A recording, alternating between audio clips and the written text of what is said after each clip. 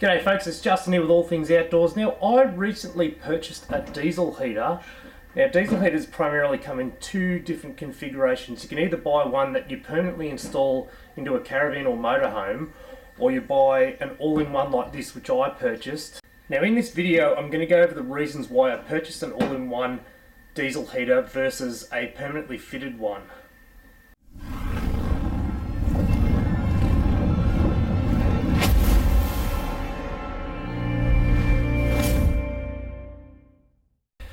So here's the first reason, it's probably the most obvious. Can we heat a tent with the diesel heater? Let's check it out. I've just fired it up, got it set at 20 degrees Celsius.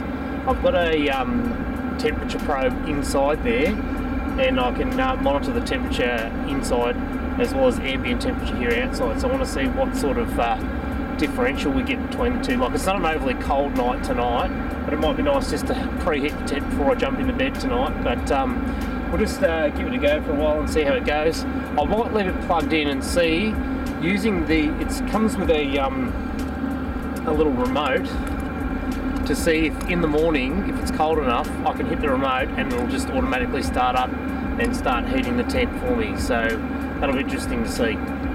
Okay, so the temperature inside is only just getting up to 18 degrees now, um, which is indicated on the heater, and it's taken 17 minutes to do that. Mind you, the probe that I put in there is actually at ground level, and as we know, hot air rises, so it's probably a lot warmer up, up high inside the tent than it is down low. So it's taken 17 minutes for it to get to 18 degrees right at the bottom.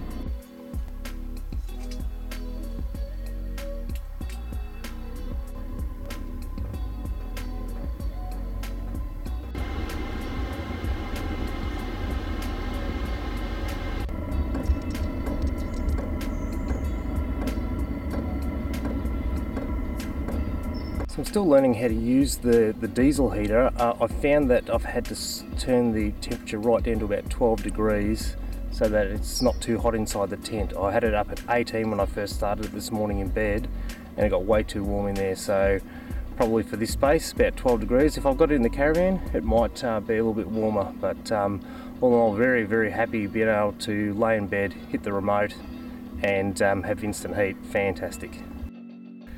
Now here's the second reason why I chose an all-in-one over a permanently fitted diesel heater and it's probably the one I'll use the most over time and it is can we use it to heat a shed or a space like that?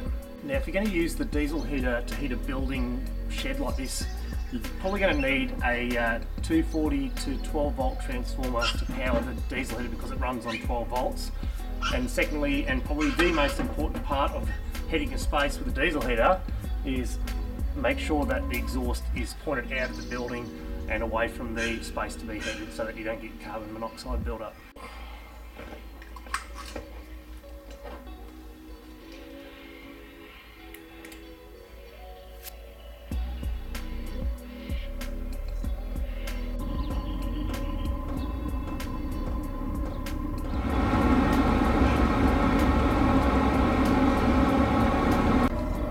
Right, so that's taken us nearly an hour with the temperature set at 22 degrees Celsius to get the shed up to a respectable 19 degrees Celsius.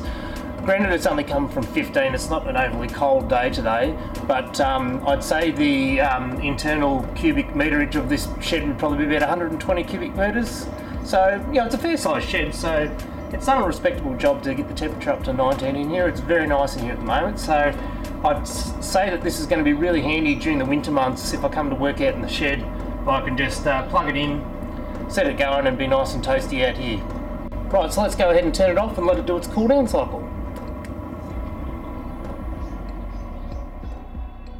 And the third reason is, even though it's an all-in-one unit, you can still use it to heat your caravan. First, we need to install some ductwork so we can use the diesel heater in the caravan.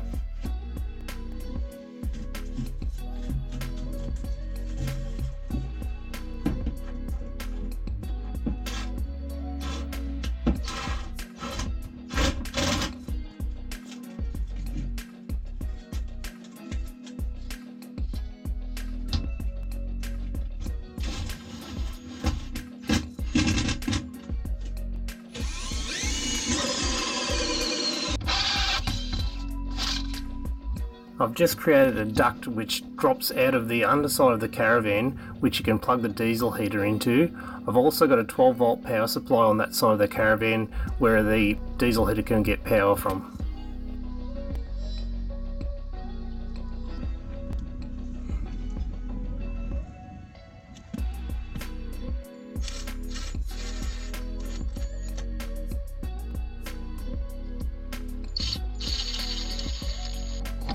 I've also installed a bung so that nothing can crawl up inside when it's not in use.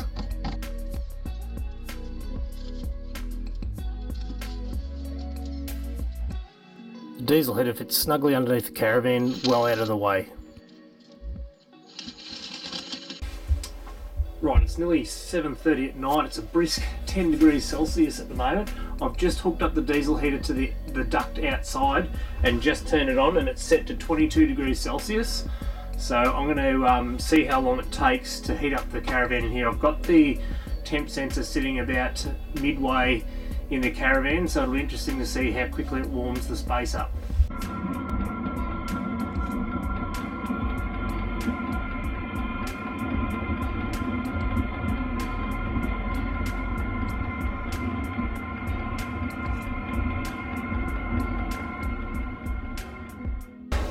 So I'll place the duct down nice and low in the caravan so the heat can convect up, right up through the height of the caravan. So I can feel a nice bit of warm air coming through there already. So it's going to be really nice hopefully.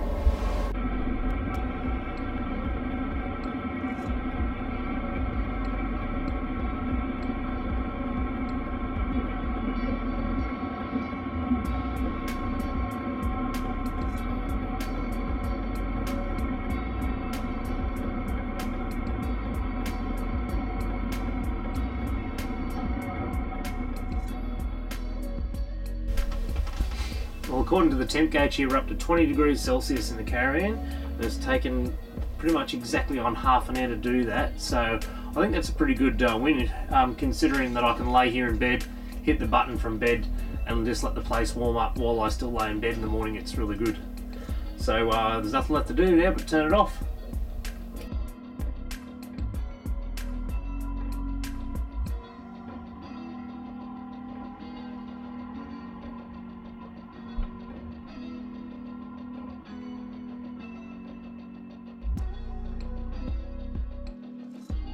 So there you have it, three reasons why you should buy an all-in-one diesel heater over an installed unit. Thanks guys, see you later.